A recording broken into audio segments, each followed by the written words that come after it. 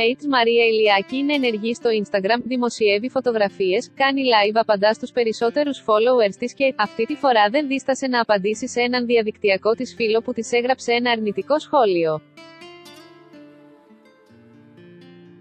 Η Μαρία Ηλιάκη δημοσίευσε μια φωτογραφία από τις καλοκαιρινές διακοπές της στην Κρήτη που ήταν με τον αγαπημένο της, Στέλιο Μανουσάκη και σχολίασε «I close my eyes and I can see a better day».